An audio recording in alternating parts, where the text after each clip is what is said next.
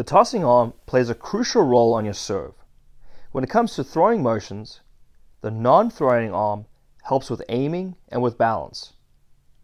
When serving, the hitting hand tends to follow the tossing hand.